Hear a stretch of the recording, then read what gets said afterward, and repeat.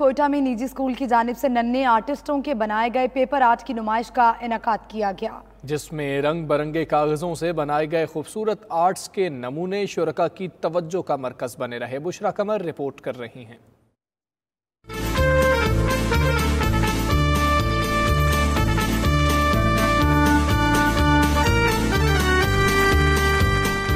प्यारे प्यारे बच्चों के बनाए गए रंग बिरंगे पेपर आर्ट का एग्जीबिशन लगा कोयटा के एक निजी स्कूल में जहाँ क्लास नर्सरी तक पंचम के तुलबा के बनाए गए कागज़ के खूबसूरत आर्ट के नमूने शिरका की तवज्जो का मरकज बने रहे। बच्चे बहुत क्रिएटिव हैं अंदर से उनके अंदर बहुत टैलेंट है और ये देख के हैरान होता है की हम भी इस तरह नहीं कर सकते जितने बच्चे इन्होंने किया है। छोटे छोटे बच्चे और इन्होंने बहुत मतलब क्रिएटिव चीज़ें बनाई हुई हैं बहुत अच्छी उनकी आर्ट है। उनकी मतलब हर चीज़ उनकी अलग अलग है और मतलब वो हर चीज़ में अपना मतलब अपनी आर्ट है हर चीज़ एक मैसेज रही एग्जीबिशन में कहीं रंग बिरंगे कागजों से बने फूल नज़र आए तो कहीं जानवर। एक नन्हे आर्टिस्ट ने तो कागज़ के गैर मामूली टुकड़ों से अपनी तस्वीर भी बनाई थी।